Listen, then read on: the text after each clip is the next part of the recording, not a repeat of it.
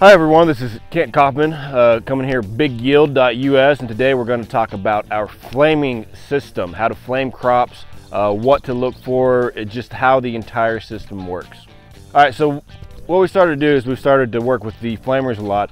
Uh, we started to work with the flamers because of the organic side of the house, but they also work very well on the conventional side. So the organic flamer runs off of propane, so it's a chemical free.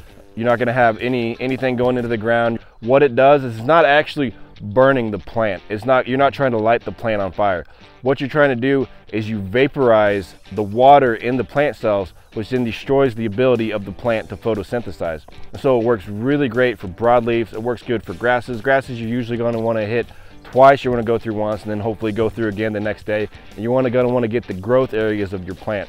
And so that means you're gonna want to get the top areas more than anything. So you're gonna want your corn or your soybeans or whatever you're flaming to be above, you know, 16 to 18 inches and you're going to want whatever you're flaming to be shorter than that so you can get the top of it. If you want to flame a bare field, you're going to want to mow it first and then you're going to want to flame it after that.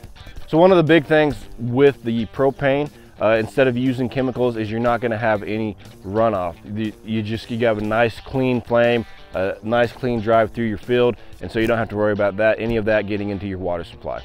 So currently if you're running four to seven gallons of liquid propane an acre, then at, at the current propane prices, you're gonna hit about $5.40 to $9.45 an acre, which makes burning your weeds with, with the flamer very, very cost effective compared to most chemicals.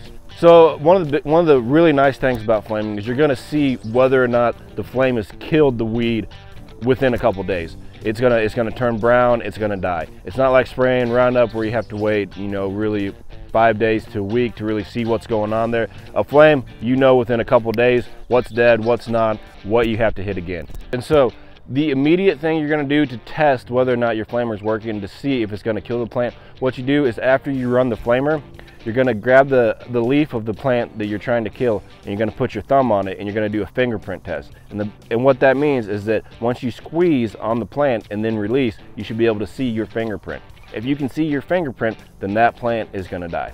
As again, everybody, I, I thank you all for watching and join us online, bigyield.us, and see what we have for you.